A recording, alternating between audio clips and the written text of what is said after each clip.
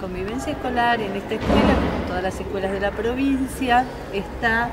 regulada en cierta medida por el acuerdo escolar de convivencia. Digo en cierta medida porque el acuerdo escolar de convivencia es nada más que un marco, una especie de modelo, llamémosle experimental, que vamos cambiando año a año y que de alguna manera nos ayuda, nos apoya en la creación de un ambiente propicio para el desarrollo de la autonomía de los chicos, de la participación juvenil, del ejercicio de los derechos y que da un ambiente eh, proclive, digamos, o el ambiente necesario para el estudio. Creo que en esta época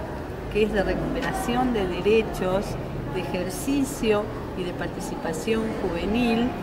es la escuela un lugar privilegiado donde los chicos se pueden preparar para la vida. ¿Para qué nos sirve el acuerdo escolar de convivencia? Para tenerlo como un fondo, un modelo de referencia. No estamos todo el día pensando en él. Simplemente recurrimos como una forma de regular los vínculos, las relaciones personales, los conflictos,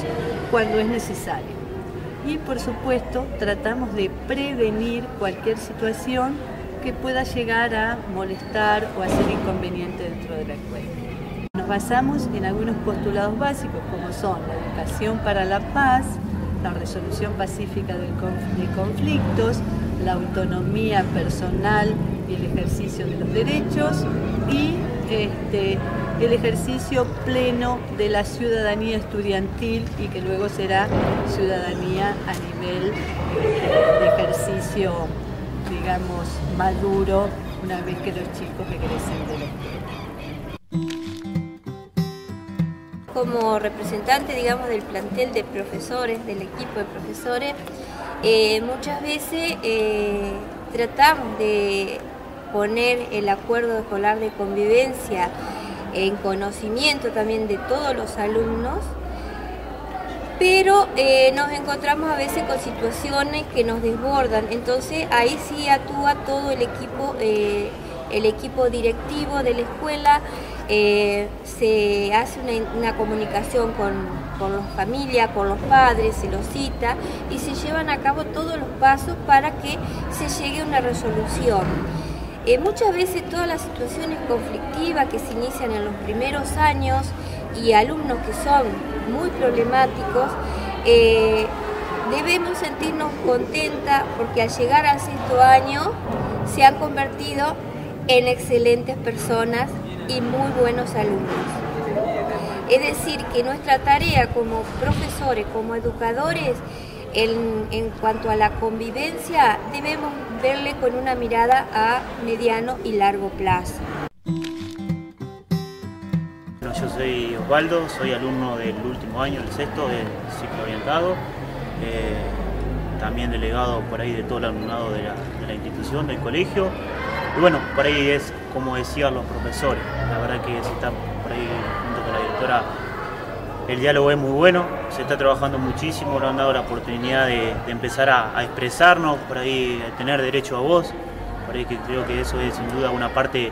por ahí fundamental por ahí por nosotros, más que nada de sentirnos que, nos escucha, ¿no? Nos, escucha, nos da su opinión, eso es importante, eso es importante para un alumno por ahí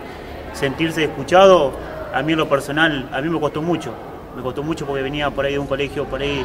con mucho conflicto y demás, y, bueno, encontré por ahí una cálida bienvenida, por ahí en esta institución donde me abrió la puerta, y bueno, y junto con junto con ellos me fueron brindando la oportunidad de participar, junto con los alumnos también, como son el Consejo Estudiantil, por ahí que lo hacemos regularmente, que le pedimos opinión a los chicos, qué opinan sobre diversos temas o qué proyecto podemos presentar, eh, la creación del centro de estudiantes, que es una, es una cuestión que se viene trabajando ya desde el año pasado, por ahí qué iniciativa de los alumnos, fue sin duda que para uno, por ahí que venía del segundo año, por ahí que estoy acá,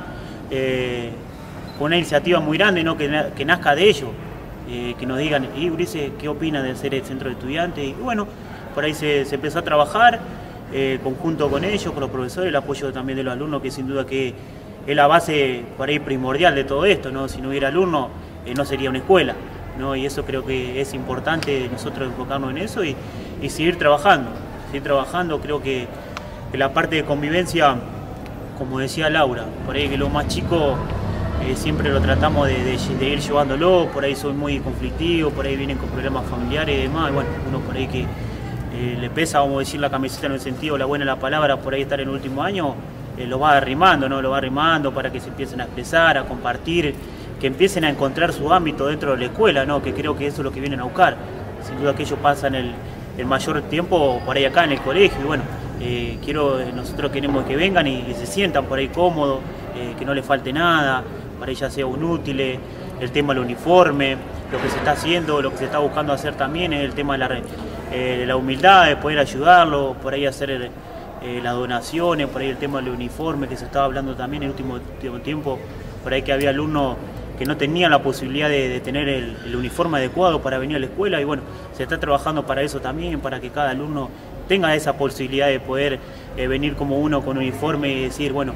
tengo una identidad, ¿no? Los nuevos estos que llegaron ahora, los de séptimo, tienen una conducta muy, muy grande. Así que cuando se portan más, nosotros tenemos que ayudarlo y hablarlo nosotros los más grandes, como él de sexto y yo de quinto, ya irlo hablando. Porque él termina este año y yo quedo para el año que viene, ya tengo más experiencia. De sexto ya está, ya este año termina, entonces nos está explicando a nosotros lo que tenemos que hacer. Eh, ayudar a los compañeros, eh, explicarles las normas y todo eso.